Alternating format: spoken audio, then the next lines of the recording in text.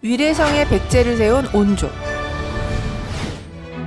소선호에게는 주몽과 혼인하기 전 얻은 두 아들 비류와 온조가 있었습니다. 주몽은 두 아이를 자신의 아들로 받아들였죠. 비류야, 온조야. 아버지, 저도 안아주세요. 그런데 주몽에게도 아들이 있었습니다. 바로 부여에 남겨두고 온 예씨 부인이 낳은 유리였죠. 두고 가서 정말 미안하오 부인. 제 걱정은 마세요. 어느 날 부여에서 유리와 예씨 부인이 주몽을 찾아왔습니다. 아버지, 제가 왔습니다. 정녕 내 아들이냐? 태어나고 처음 본 아들이라 엄청 반가웠겠어. 주몽은 크게 기뻐하며 유리를 맞아주었고 그를 고구려의 태자로 삼았습니다. 너에게 왕위를 물려주겠노라. 엥? 그럼 비류랑 온조는요?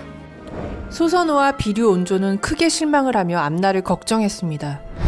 결국 왕위를 물려받는 건 친아들인가? 훗날 우리 형님이 양이 되면 우리를 없애려 하지 않을까? 결국 그들은 자신들을 따르는 무리를 이끌고 고구려를 떠나 남쪽으로 향했습니다. 한강 이남 지역에 다다른 온조는 이곳에 나라를 세우기로 했습니다. 어머니 형님, 저는 이곳에 나라를 세우겠습니다. 그들도 와서 보게 어떠한가? 훌륭한 땅입니다. 북쪽으로 큰 강이, 동쪽으로 높은 산이 있는 자연의 요새입니다. 게다가 남쪽의 넓고 비옥한 땅은 농사 짓기 좋고 서쪽의 큰 바다는 다른 나라와 교역하기 좋을 것입니다.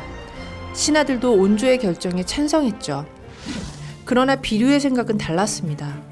난 바닷가에 나라를 세우고 싶구나. 바닷가요? 난 나를 따르는 사람들을 데리고 갈 테니 넌 여기서 어머니를 모시고 왕이 되거라. 어디로 가시려고요? 그렇게 비류는 미추홀로 떠났고 온조는 위례성에 새 나라를 세웠습니다. 나는 이만 가련다. 형님, 온조는 10명의 신하가 도와 나라를 세웠다는 뜻에서 나라 이름을 십제라고 했습니다. 한편 비류가 향한 미추홀은 바닷가 근처라 농사 짓기 적합한 땅이 아니었죠. 그를 따라 미추홀에 정착한 사람들은 굶주림에 시달렸습니다. 이런, 내가 어리석었구나. 결국 근심에 잠긴 비류는 병을 얻어 시름시름 앓다 숨을 거두고 말았죠. 자네들 볼 면목이 없네. 이에 비류를 따르던 사람들은 십제로 향했고 온조는 이들을 따뜻하게 맞아주었습니다. 저희를 받아주소서. 어서 오시오. 그간 고- 얼마나 고생이 많으셨소. 이후 나라의 이름을 백제로 바꾼 온조는 기원전 18년부터 기원 후 28년까지 재위하며 나라의 기틀을 닦았습니다. 올해도 농사가 풍년이라고 합니다. 허허, 참으로 잘된 일이오. 백제는 한강 유역에 위치해 있었기 때문에 땅이 매우 비옥하고 농사에 쓸 물이 풍족했습니다. 한강에서 물을 끌어와 쓰게.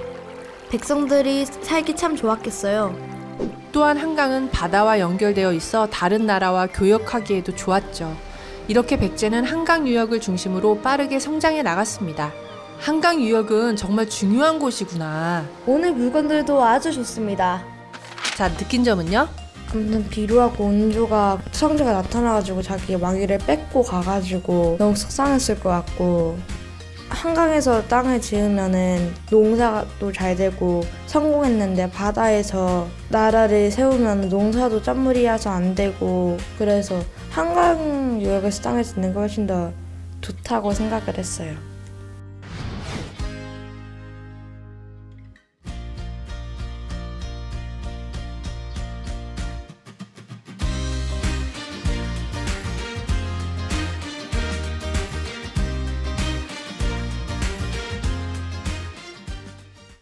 천재가 되자 되자.